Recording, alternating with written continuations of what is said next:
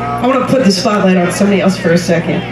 Uh, there's a lady here who's taking video, and uh, she took video of me at Briggs Farm last year.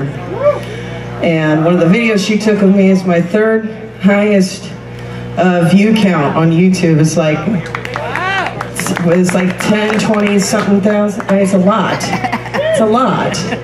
And um, she does this. She, you know, she's just amazing and very supportive of artists and music and festivals and live music. And I just want to put the spotlight on Joan for a second, as Blues Broad on YouTube. Thank you for everything that you do. Thank do. you. Thank you. Okay. Oh, I got I got several. Yeah, we're good. Thank you.